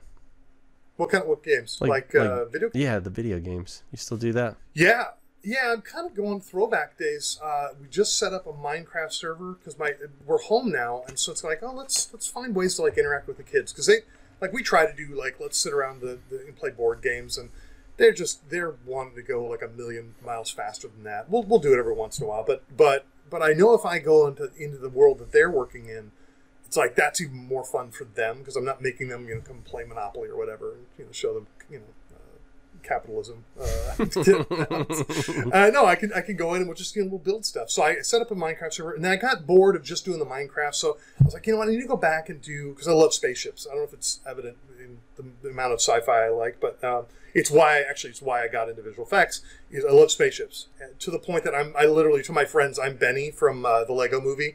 You know the guy's screaming spaceship and running around. Um, that's that's me. So uh, we end up playing a, a game that's just like Minecraft except in space, which is called StarMade, which is really fun because you can build spaceships and actually create like guns on them that kill things, and it's pretty cool. So it's a it's an infinite universe Minecraft. That's cool. So have you been to like the uh, Air and Space Museums in um, hmm DC? Oh yeah, yeah, yeah. Well, good stuff. Was that pretty amazing? Yeah, I went there as a kid. Um, yeah, it was absolutely. I mean, I, and, and even we I, more impressive, I think, is going down to um, League City. Um, City, is that right? Yeah, where the where they got the Saturn V rocket and the the um, all the other. Have you ever been down there? Mm-mm. You had to have gone there. Oh my gosh, you've gone to Moody, but you've never gone to uh, yeah the the NASA Space Center down there, um, and they've got they literally have one of the Saturn V rockets sitting on its side, and, and it's just incredible to walk around it and realize how freaking big that How thing is. these things are. Um, realize what it took to get up in outer space. So they let you go into the original mission control and, and see that, and it's just it just blows your mind from a, you know from an IT perspective, a technologist perspective, um, to realize like what we did with like a calculator. You know what I mean? Like it just the the processing power that is in that room or was in that room um, to, to do what they were doing. You know, is it's just incredible. So I, I don't know what the actual compute ability is, but I got to think that like a Raspberry Pi probably runs circles around what was in Yeah. that entire room. I'm sure it's So- less than uh, less than the power in the uh, the Apple Watch you're wearing on your wrist right now. So Yeah, yeah, exactly. Yeah. Yeah, it's incredible, and it's it's just it just and it, it's amazing what they were doing with you know slide rules and just pure people smarts, right? Human smarts, what they were able to do. So uh, yeah. Anyway, so I, that that to me I think is even more insp- impressive because the the uh, shoot from what I remember the air and space, uh, it was more kind of like, hey, look at these neat airplanes and Yeah, things yeah, like that. Yeah, that was neat, and I'm sure they've updated it now. Uh, Mm-hmm. yeah, we so went last summer. but- and there's um there's some stuff that's so- been to space that you get to walk through, like physically Oh, walk through and touch, and it's pretty neat. That's cool. Yeah. that's really cool. And then they have the uh, the original Wright Flyer that's in there too. Yeah, that's neat. That's pretty that's, cool. That's impressive. It's super trippy to think about from like the the time frame of when we had the first powered man flight. Because I remember talking to my kids about this. From the time we had the first powered man flight to the first time we went to the moon was within a human's lifespan. Yeah. You know, it's just, just it's just it's so. It's impossible for me to imagine uh, that leap of technology in such Oh, yeah. a short amount of time. Yeah. And you know, it's I don't know, you know, stuff like that gives me a lot of hope. You know, whenever stuff's getting sideways, you know, Right, I don't right. know, maybe like right now, you know, just how humans are survivors. That's what we've always done, and we're so clever and curious, and we can make, you know, we can MacGyver anything out of anything, and uh, it's just I don't know, just the ability for man to always succeed, even when you think he can't. We always figure out a way, and so just Mm-hmm. you know, I, I like to hang on to to stuff like that. It's uh keeps me sane. I think sometimes. Yeah. No, it's, it is. It's, it's it is impressive uh, what we've done in the. I mean, shoot, just in, in since I was born. I mean, it's like what what how things are compounding and how things are you know uh, exploding in in in every aspect. Uh, we we do amazing things. We invent amazing things all the time. Um, I think I think one of the things I've I've uh, that's I've wished for, and I hope this COVID thing is not uh, is not what's going to be the thing that brings us together. But I go back to that that moonshot. I mean, that really brought our nation um, really together. Um, unfortunately, you know, also in, underneath the guise of the Cold War Right. and trying to you know beat the Russians. But we, we haven't had a sense of unity in, in had- especially nowadays with, with such you know di- polar opposite sides. We'll be running away from each other and, and finding their their group to to basically uh, you know be anti of something. I, I've wanted something that would bring us together, and that, that's that's like that moonshot, like something that would be like, hey, let's all do this together because we're so much more powerful, so much more. We can do such more amazing things when we're doing things together uh, and not you know fighting among ourselves. Well, I've always heard nothing brings a people together like a common enemy. And I guess right now the whole world has a single common enemy that they're all Yeah. focusing on. So. I mean, from that perspective, that's definitely true. Yeah, I've often thought that you know, I mean, I'm not one who, who is an alien guy, but but something on that level of like, oh, there's an imminent threat to Earth, that then brings us to like, hey, we need to work, we need to find a way to work together. You know, we don't have that motivation right now. You know, talking about space, there was an astronaut. I, I don't remember who it was, but I, I was watching a video and they were talking about how, and there's actually a, a term or a phrase coined for this specifically. And I've mentioned it before, but I can never remember what the term is. Um, But it's it's this this epiphany, this realization that virtually every astronaut that goes into space and they're they're away from the Earth and they look out the window and they see the Earth, they have this this sense of we're not American, Canadian, African. Oh, we are yeah. just humans, right? Because all of a sudden the Earth is just this little ball out Yep. the window, and so it just really, I know it's perspective, right? Mm-hmm. That that unfortunately you can only get if you sit on a giant, you know, bomb and fire yourself into space.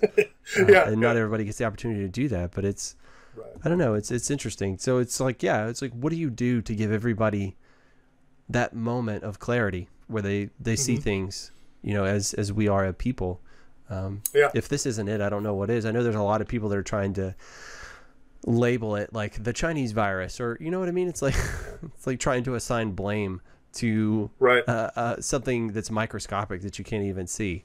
Um, Yeah. Yeah. that doesn't think or feel or you know it's just it's a virus and it's everybody's enemy we should just unite against it and Mhm. maybe um, get a little sense of community out of it hopefully Yeah. That's my hope.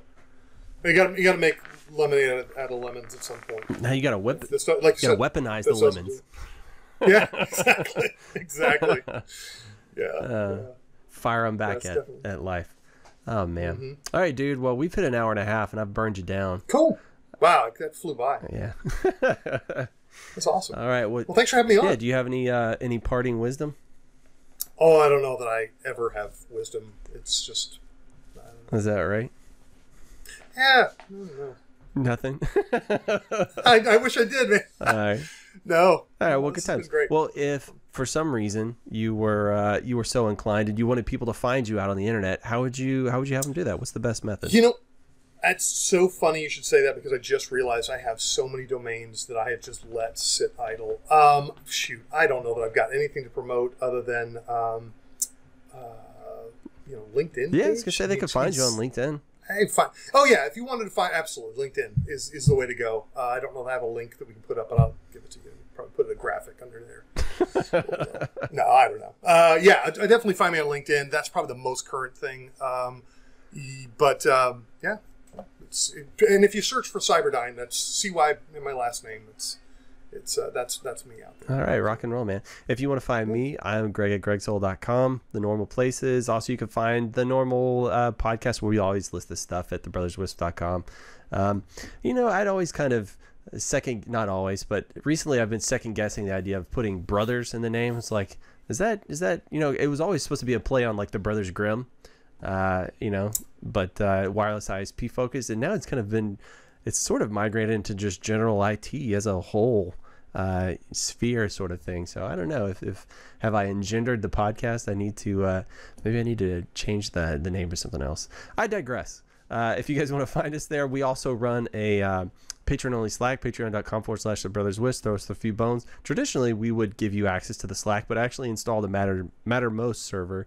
I wanted to be Matters Most, but it's not. It's Mattermost um, server, which is kind of a basically a slick uh, Slack, a slick Slack knockoff that you host yourself. So there is no like 10k message limit. So we have everything in perpetuity. So uh, occasionally guys will have to ask, hey, what was that thing from before because we hit the 10k limit?